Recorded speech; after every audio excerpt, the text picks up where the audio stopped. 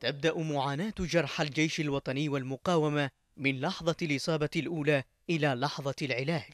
شهور عدة يقضونها في المعاملة للحصول على منحة علاجية من الدولة إلى إحدى دول الخارج بعد أن عجزت المستشفيات في الداخل عن علاج إصاباتهم البالغة.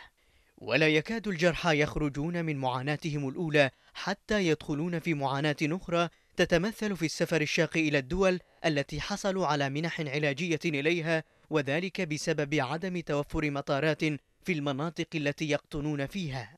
وبمجرد الوصول إلى الدولة المحددة لتلقي العلاج اللازم يتفاجؤون بمعاناة أخرى تتمثل بعدم الاهتمام من الجانب الحكومي وضعف التنسيق المسبق.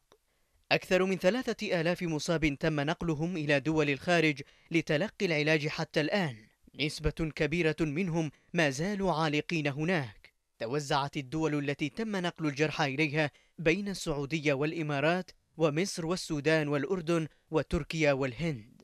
جرحى الجيش الوطني والمقاومة في السودان هم الأكثر معاناة وتعرضا للإهمال حيث تم نقلهم إلى مستشفيات لا تختلف عن المستشفيات المتواجدة في اليمن والتي تفتقر إلى الكوادر القادرة على علاج إصاباتهم بحسب تصريحات عدد من الجرحى وقفات كثيرة نظمها الجرحى أمام السفارات اليمنية في الدول التي يتواجدون فيها ومناشدات مستمرة أطلقوها على أسماع الحكومة علها تصغي إليهم لتخفيف أوجاعهم. ورغم هذه المناشدات والوقفات لم تقم الحكومة بالدور المطلوب تجاه جرحى ضحوا بأغلى ما يملكون من أجل شرعيتها.